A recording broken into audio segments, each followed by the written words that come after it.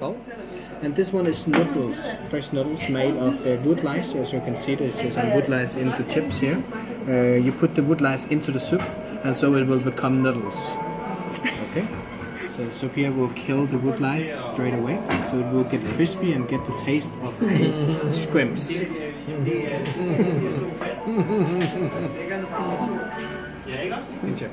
Thank you. Uh, dip it, dip it.